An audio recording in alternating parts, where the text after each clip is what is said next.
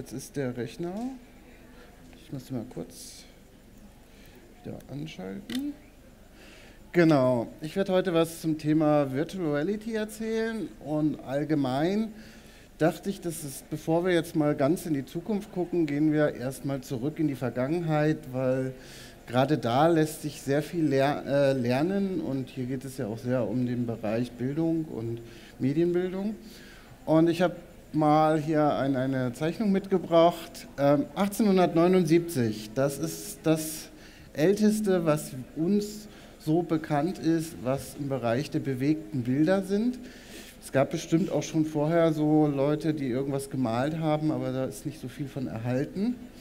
Und was man gemacht hatte, man hatte einfach ähm, auf so eine Scheibe ein, ein, ein Pferd im Galoppieren gemalt und wenn man die Scheibe gedreht hat, dann haben sich diese Bilder bewegt. Und gar nicht kurze Zeit später, nämlich schon 1888, gibt es den bisher er, ältesten erhaltenen Filmausschnitt. Ich kann den mal ganz kurz starten. Sehr gut aufpassen, es ist sehr kurz. Hm. Das ist sozusagen die große Filmgeschichte und die Geschichte der bewegten Bilder und auch damit der virtuellen oder der äh, aufgezeichneten Realitäten. Und ähm, was halt sehr auffällig ist, ist, dass bei der Entstehung von Film als allererstes sich erstmal auf dokumentarische Themen konzentriert wurde. Man hat das aufgenommen, was man kennt, man hat sozusagen sein eigenes Leben aufgenommen und hat sich noch nicht so richtig Gedanken gemacht, wie kann ich dieses Medium jetzt benutzen, um neu, neue Geschichten zu erzählen. Das geht weiter. Ähm, äh, 1900 war dann der erste große Spielfilm, also Spielfilm, der rauskam, der ging zwei Stunden. Es war ein Dokumentarfilm und interessanterweise auch hier, es war ähm, ein Propagandafilm. Es war ein Film, der Werbung für das Militär gemacht hat. Also auch dort hatte dieses neu entstehende Medium erstmal einen, eine, eine, Wirkungsweise, die darauf hinzielte, ähm, ja, was, etwas zu verkaufen. Ähm, dann kamen wesentlich künstlerische Projekte und hier sieht man zum Beispiel schon, dass man auch dort versucht hat, das Theater sehr stark abzufilmen. Also wenn man sich so ein bisschen mit der alten Filmgeschichte beschäftigt, wird man feststellen, dass man sehr lange ähm, das gemacht hat, was man kannte, nämlich Theater. Das gab es ja schon als Medium, lange bevor. Und dass man dann einfach nur die Kamera aufgestellt hat und sich überlegt hat, okay, jetzt nehme ich das auf. Man hat aber nicht so wirklich sich Gedanken gemacht, wie kann ich dieses neue, damals super innovative, zukunftsweisende Medium nutzen, um ganz neue Geschichten zu erzählen, auf ganz neuen Arten und Weisen. Und warum kann das eigentlich was ganz Spezielles und ein spezielles Medium sein? Ähm, wer sich so ein bisschen, also wer äh, sich mit dem Thema Film, Kamera, äh, Film als Kunst beschäftigt, dem kann ich nur dieses Buch empfehlen von 1932 von Rudolf Arnheim. Und das war so der erste wirkliche Durchbruch, von, wo jemand mal wirklich zusammengefasst hat, was ist eigentlich das Besondere an dem Medium Film, was macht es so speziell? Und was ist eigentlich das, was es unterscheidet von diesen ganzen anderen Kunstformen wie Bildhauerei, Malerei, ähm, Theater und was es da sonst noch so gibt. Und er hatte fünf verschiedene Aspekte aufgeführt, die für ihn damals das sind, was das Medium Film ausmacht als Kunst. Und das eine war, dass die, die reale Welt, die dreidimensionale Welt, die wir erleben, in eine zweidimensionale Welt gesteckt wird und dadurch es Ausschnitte zeigt, die wiederum künstlerisch couragiert sind. Und dadurch entsteht die Kunst. Ähm, das zweite war von ihm, dass er gesagt hat, das Bild, das wird gesetzt. Man kann nicht wie in der realen Welt alles sehen, sondern man sieht nur einen Bildausschnitt und dadurch, dass dieser Ausschnitt gewählt wird, entsteht das Kunstwerk. Dann hatte er weitere, äh, hat er damals Schwarz-Weiß als einziges künstlerisches Medium angesehen und gesagt, dadurch, dass die Farbe entfällt, haben wir Kunst und dadurch, dass wir nicht in natürlichem Licht arbeiten, sondern im künstlichen Licht, entsteht das Kunstwerk. Dann als viertes war es noch, dass er sich Gedanken um den Schnitt gemacht hat, wie der Schnitt, dass die reale Zeit, das reale Leben verändert wird, gerafft wird, gestrafft wird oder auch mal verlängert wird und dadurch ein Kunstwerk entsteht. Und dann hat er noch gesagt, Sound, also er war absolut gegen Sound. Äh, es kam ja in den 30ern dann der Tonfilm auf, das war ihm sehr zuwider ähm, und hat gesagt, dadurch, dass es keinen Sound gibt, keinen Geschmack, keinen Geruch und keinen Tastsinn, darum ist Film ein Kunstmedium, ein eigenständiges Kunstmedium. Nun wissen wir ja wirklich, dass er nicht überall recht hatte, weil wir haben solche Filme zum Beispiel wie Eraserhead, der bestimmt ohne Sound absolut kein Kunstwerk so in diesem Maße wäre und der es wirklich geschafft hat, trotz Sound ein unwahrscheinlich ja, fortschreitendes, innovatives äh, Kunstwerk zu sein. Oder Apokalypse Now, wo ich mir das gar nicht in Schwarz-Weiß vorstellen mag, sondern die Farbe eigentlich das ist, was diesen Film auch ausmacht und die Geschichtenerzählung unterstützt. Und jetzt komme ich zurück zu dem Thema VR, weil gerade das ist das ein neues Thema, ein neues aufkommendes Medium mit neuen Technologien und wir stehen wieder an dieser Frage, was macht VR denn so besonders? Was ist daran das Besondere des Mediums, das Künstlerische? Und wenn ich jetzt mal seine Theorien durchgehe, dann fällt mir auf, okay, also bei VR möchte ich gar nicht die 3D-Welt wieder in eine 2D-Welt packen, sondern genau das Gegenteil. Ich möchte diese 3D-Welt erlebbar machen. Findet also nicht statt. Das nächste ist, das Bild wird geframed. Habe ich in VR gar nicht. Wenn ich so eine Brille aufhabe, dann kann ich mich umgucken. Ich habe kein geframtes Bild, fällt weg. Schwarz-Weiß kann man machen, gibt es auch ein paar Beispiele, aber gerade in der virtuellen Welt möchte ich ja so eine sehr starke Immersion haben und die erreiche ich ja überwiegend auch dadurch, dass ich die farbenfrohe, bunte Welt darstelle, wie ich sie gerne hätte. Äh, künstliches Licht ist auch so ein Thema, benutzt man ja, ist aber auch schwierig. Also wenn man zum Beispiel ein 360-Grad-Video erstellt, äh, kann man keine Lampen ins Bild stellen sondern die müssen da natürlich sein, damit man sie nicht erkennt und sieht. Man ist eigentlich genau entgegengesetzt, versucht sehr, sehr äh, natürlich zu leuchten, sodass alle Lichtquellen natürlich erzählt sind. Schnitt, auch das ist möglich, aber auch nicht das, was besonders gut funktioniert in VR, weil gerade dieser Schnitt etwas sich oft sehr komisch anfühlt und ein bisschen deplatziert wird. Und dann Sound ist ein ganz, ganz großes Thema bei VR. 3D-Sound, man will eine super realistische Darstellung haben. Und wenn man sich so ein bisschen in der Forschung umguckt, dann geht es gerade auch sehr äh, Geschmack, Geruch und Tastsinn, eigentlich alles das, was man sehr gerne haben will.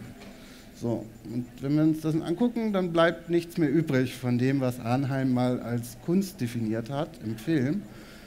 Und dann merkt man auch, dass VR wirklich ein neues Medium ist und nicht nur ein anderes Anzeigegerät für traditionellen Film, sondern es ist ein neues Medium, was völlig neue Strategien braucht, um Geschichten zu erzählen und selbst wiederum als ein, ein eigenständiges, ein kraftvolles Medium wahrgenommen zu werden. Und für mich, das ist jetzt auch ein bisschen meine Meinung, ist das eins der größten oder das, was das Medium VR ausmacht, Interaktion.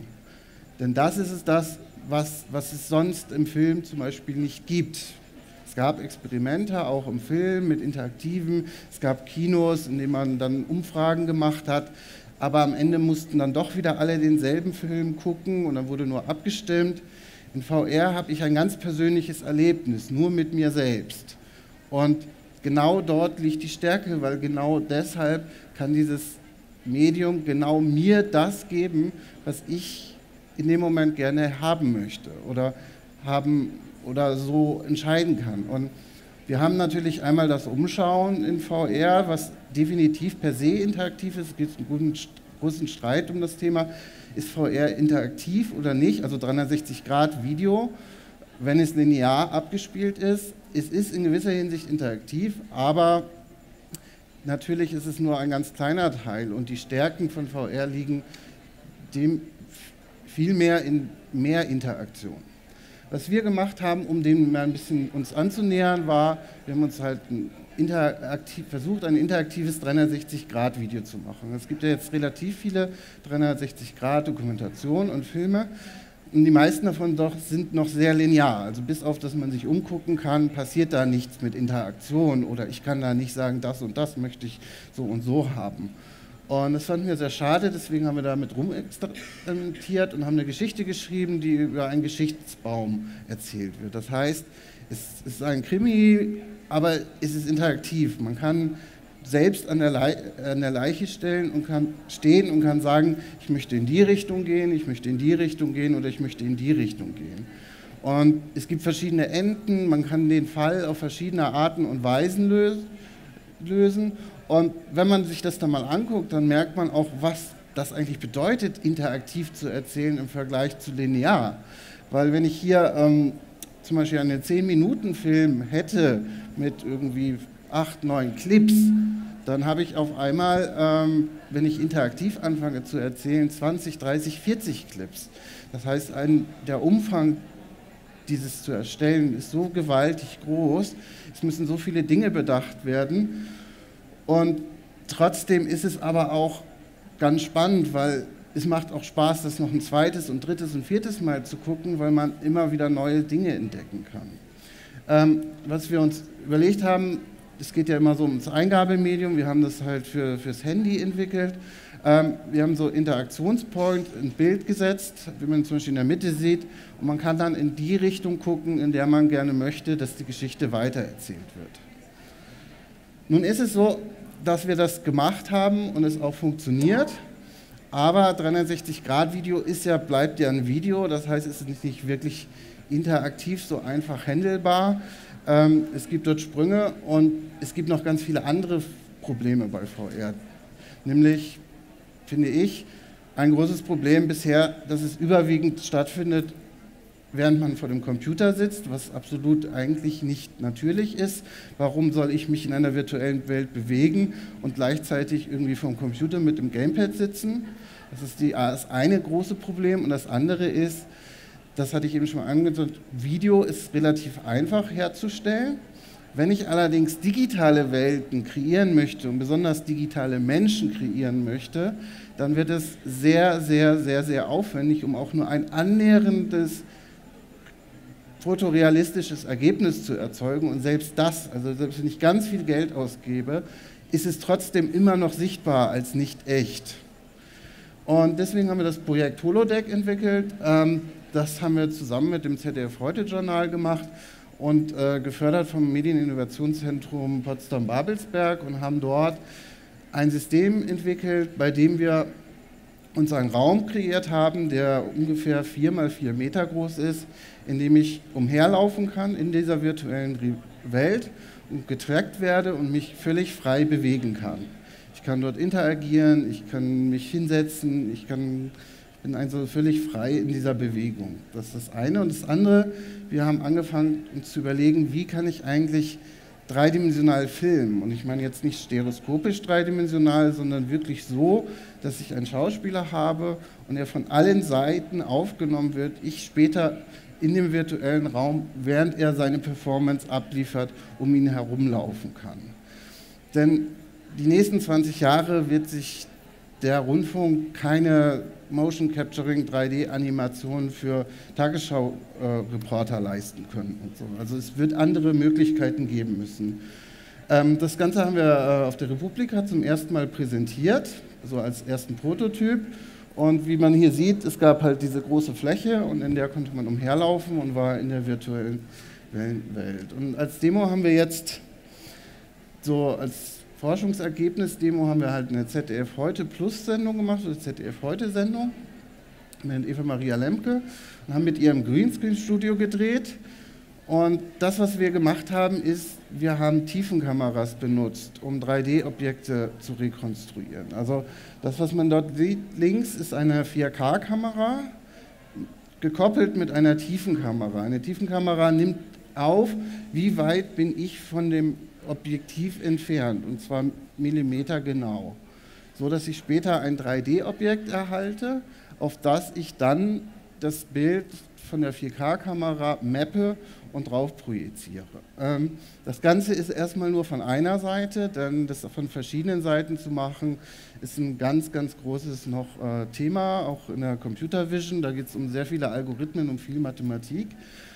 Ähm, und wir haben erstmal geguckt, was kann man damit denn überhaupt so machen und wie kann man anfangen. Ähm, das Ganze haben wir dann noch äh, mit, einer, äh, mit einer Schauspielerin gemacht, weil wir haben uns überlegt, was macht man denn so als ZDF heute VR-Sendung, was richtig spannend sein könnte. Und dann haben wir uns überlegt, okay, eines der großen Ereignisse im Medialen war die Mondlandung. Und wir möchten jetzt die Marslandung machen. Also wir sind in der Zukunft, wir möchten die Marslandung machen. Und so ähm, gibt es äh, eine Astronautin, die das komplett außer ihr Gesicht 3D modelliert ist. Und um wiederum vereinfacht arbeiten zu können, haben wir Motion Capturing eingesetzt, aber kein traditionelles äh, optisch basiertes Motion Capturing, sondern sensorbasiertes Motion Capturing. Das kann man sich so vorstellen, als hätte man, also die Handys heutzutage haben ja alle auch schon so Bewegungssensors und man kann sich so vorstellen, als wenn jeder dieser roten Punkte ein Handy mit so einem Bewegungssensor ist.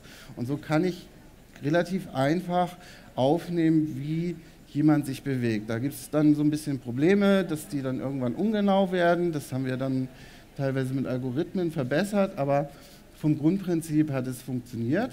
Und so hatten wir dann einen Dreh, bei dem wir, jetzt wird es ein bisschen technisch, vier Datenströme aufgenommen haben. Also wir haben zum einen Schauspielerin, wurde gemotion captured, also ihre Bewegungen wurden aufgezeichnet.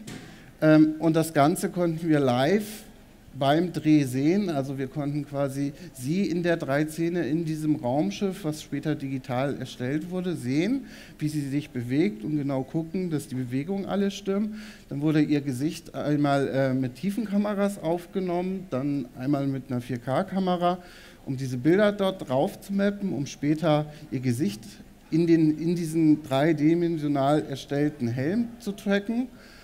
Und wir haben dann noch den Joystick aufgenommen, mit dem sie das Raumschiff steuert, damit wir dann später auch die genauen Daten der Raumschiffsteuerung haben. Also alles schon sehr technisch. Äh, trotzdem aber irgendwie auch noch mit kleinem Team und jetzt kein äh, Big Hollywood 200 Milliarden Millionen Projekt. Ähm, hier noch einmal ganz kurz die Techniken, die wir verwendet haben. Ich will da jetzt gar nicht so drauf genau darauf eingehen, da könnte man jetzt über jede dieser Technik zwei Tage reden. Allein VR-Audio wäre irgendwie eine Woche. Ähm, es gibt unwahrscheinlich viel hier zu entwickeln und zu entdecken. Vielleicht ganz interessant. Wir haben zum Beispiel für den Mars, der außerhalb des Raumschiffes, haben wir echte Mars-Fotografien und Daten benutzt, die von der NASA zur Verfügung gestellt wurden. Und die mussten aber auch Algorithmen entzogen werden, sodass sie sich die Auflösung verändert wird, je nachdem, wie nah man an diesen Mars kommt. Also wie man sieht, es gibt so eine Maßnahmung, man trifft dann noch auf außerirdische Lebensformen. Ähm, es ist alles ein bisschen fiktiv, es soll ja auch Spaß machen. Ähm, wie gesagt, das ist wirkt jetzt gar nicht. Es, es gibt ein riesen Kommunikationsproblem, VR irgendwie in der Gruppe zu zeigen und auf dem Bildschirm und so. Sieht alles ganz unspektakulär aus. Ähm, man muss es wirklich erleben. Wir werden die Demo jetzt weiter fertig machen und ich denke Ende des Jahres, ähm, Dezember, äh, nochmal präsentieren in Berlin. Also wer das wirklich mal erleben möchte, der schreibt mir eine E-Mail und dann kriegt er eine Einladung, weil VR muss man erleben. Da kann man eigentlich so schwierig drüber reden und da kann man auch ganz schwierig ähm, drüber ähm, ja, ein Video zeigen und sagen, so sieht es aus. Also das sieht immer ganz unspektakulär aus. Ähm, trotzdem, man soll ja immer etwas sagen, das ist jetzt noch ein bisschen hin, bis ihr das erleben könnt, was ihr erleben könnt und das wollte ich noch mal kurz näher führen. Das ist ähm, ein, ein, ein, interaktiver Film, der jetzt gerade dieses Jahr rausgekommen ist. Und wer sonst sagt, ich bin nicht so der Gamer, es interessiert mich nicht so immer rumballern, sollte sich das trotzdem mal angucken, weil das wirklich das ist, wo die Zukunft hingeht. Es ist ein, ein, ein, Computerspiel, was ein interaktiver Film ist, was allerdings nicht darauf rumzielt, dass ich da rumlaufe und Leute umbringe, sondern was wirklich darauf zielt, dass ich Entscheidungen treffe und die Geschichte beeinflusse. Und es gibt eine Szene, die finde ich sehr stark, ganz am Anfang, kann ich ganz kurz erzählen. Man sitzt beim Psychiater und wird gefragt, wovor man Angst hat. Und das Ganze ist ein Horror. Eine Horrorgeschichte. Und man muss sich vorstellen, man geht zu Stephen King und der fragt einen, was, was, wovor hast du Angst? Und dann schreibt er das Buch direkt für mich. Und genau das ist es. Ich bin in einer Horrorgeschichte und werde gefragt, wovor ich Angst habe. Und dann wird die Geschichte daraufhin angepasst. Und das ist, denke ich, die Zukunft. Ähm, genau. Hier meine Kontaktdaten. Schreibt mir gerne, wenn ihr weitere Fragen habt. Ich bin, muss jetzt leider gleich weg. Ähm, oder wenn ihr euch die Demo angucken wollt, wenn die fertig ist in Berlin. Ähm, VR ist eine ganz spannende Sache. Es gab gestern so ein tolles Panel ähm, zum Thema, sollten Journalisten programmieren lernen? Das genauso könnte man das, äh, sollten die Filmemacher der Zukunft programmieren lernen, äh, nennen. Ähm, das ganze Erzählen wird immer digitaler, immer mehr über Algorithmen auch laufen.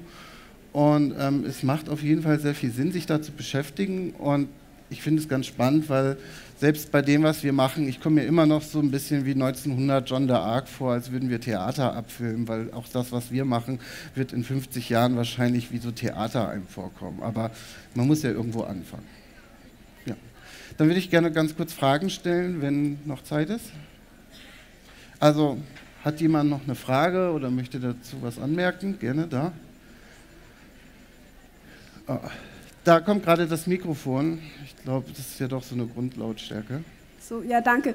Ähm, das ist natürlich total spannend, was Sie da präsentiert haben, aber ich sehe im Moment noch nicht den Konnex zum Dokumentarischen. Also wenn ich jetzt den Schritt zu den Nachrichten gehe und ich schalte in ein virtuelles Marslandungsstudio, das ist, ist ja Sci-Fi. Also wie, also wie kann man das umsetzen für dokumentarische Formate?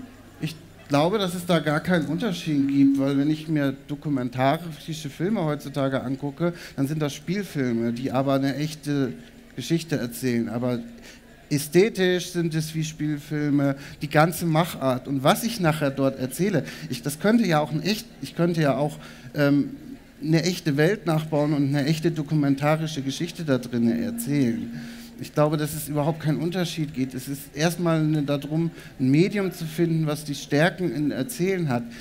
Nachher kann ich das, ich kann das für Wissen, ich kann, ähm, es gibt 30.000 Dokus über Geschichte. Ich könnte mit VR jemand wirklich in die Geschichte schicken. Ich könnte sie, ähm, klar geht es immer weiter in diese Richtung inszenierte Dokumentation. Ich weiß, dass manche das nicht mögen. Da wird es weiter hingehen. Es ist nicht, aber es gibt ja auch frage mich dann manchmal auch bei Dokumentationen, wenn sie jetzt nicht so inszeniert sein wollen, dann kann man auch manchmal ein Buch schreiben oder so, was vielleicht wissenschaftlich ist. Ähm, es geht schon in die Richtung Erleben, aber ob das Thema dann am Ende dokumentarisch ist oder auf echten Sachen beruht oder echte Geschichtsvermittlung ist oder fiktiv, ich glaube, da wird beides und alles möglich sein. Es ist ähm, genauso ein dokumentarisches, interessantes Medium. Es gibt da bestimmt Fragen zu VR ist subjektiv. Es wird kein objektives Medium sein. Das heißt, wenn man sehr, sehr objektiven dokumentarischen Ansatz hat, ist VR vielleicht auch nicht das richtige Medium. Aber es gibt auch subjektive dokumentarische Ansätze und da ist VR sehr, sehr mächtig und auch spannend. Ich kriege gerade das Zeichen, ja, ich glaube, wir müssen abbrechen. Hm.